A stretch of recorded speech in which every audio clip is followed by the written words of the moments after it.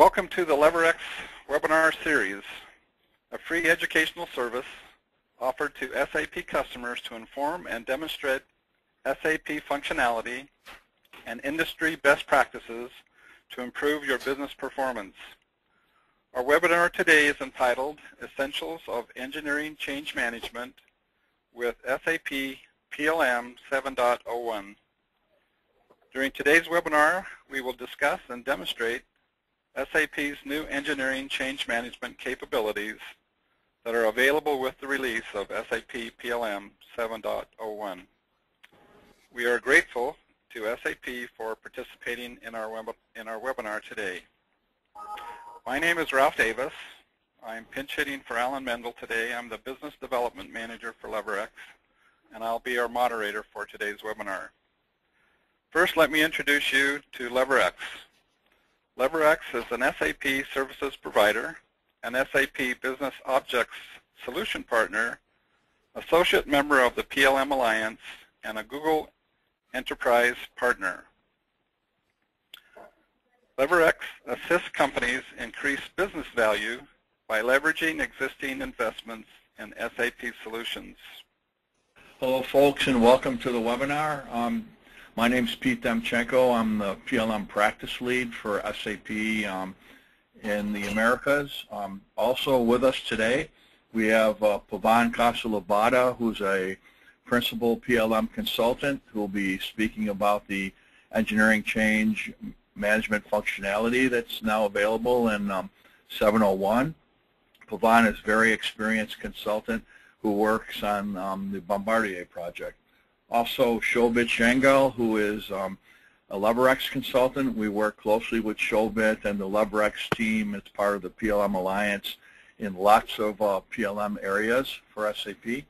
And then Pramod Shankar, who did most of the work on the presentation He's a developer who works with us and um, hopefully soon to be a consultant. And uh, um, Pramod will be able to address um, your development questions.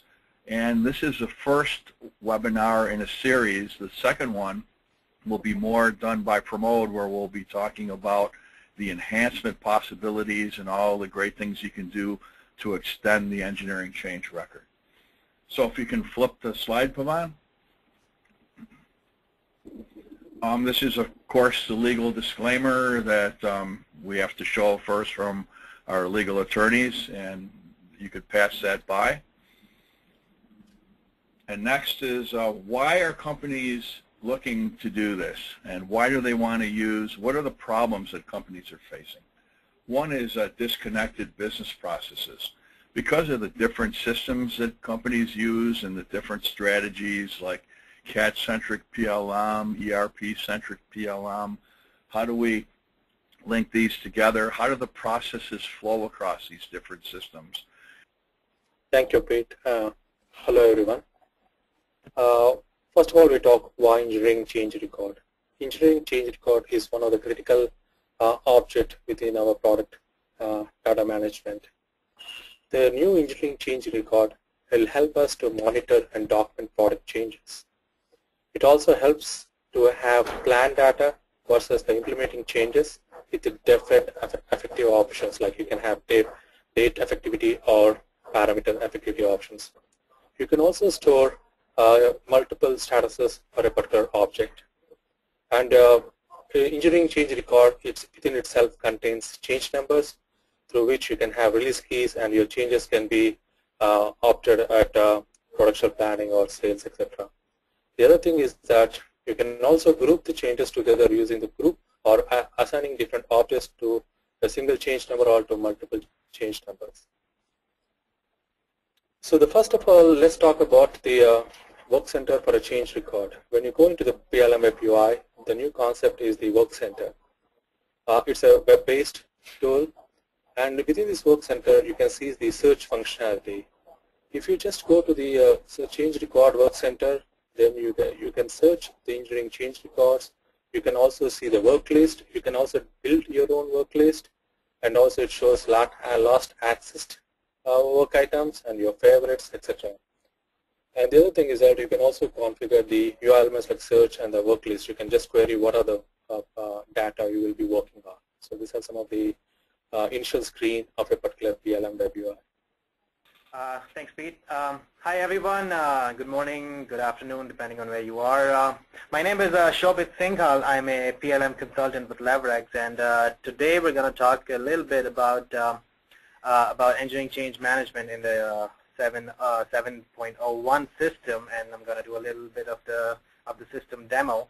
the first thing, so what you see on my screen is um, is my is my logon. this is this is my home page. Um, you know, uh, control center or work center in uh, in kind of SAP speak. Uh, the first thing you will notice here is um, is uh, is the revamped SAP GUI. Uh, this is something we call the SAP Business Client, and you can notice that I'm using this in my uh, Internet Explorer. Um, there's also a native um, SAP Business Client available that you can install on your on your machines. Um, they both kind of work in similar you know, very similar look and feel, uh, pretty pretty much uh, even speed throughout. Uh, I personally like to use this in my Internet Explorer, um, but you know, it's uh, it's both the same look and feel. Um, a little bit of uh, so I'm going to try and explain what you're looking at. So this is uh, this is my home page again. On the left hand side and on the top here, you will see um, that I have all my all my transactions here. So so this GUI is not transaction based. It's more um, it's more link based, more URL based. Um, and it uh, it kind of it pulls in all the authorizations. So if I don't have access to, uh, let's say, so if I just down here, if I don't have access to change bills of materials or create bills of materials, I will not see that transaction here, right? So um, um, and similarly, on the in the middle of the screen, you would see uh, five different sections that I have collapsed, and I'm going to open them um, one by one.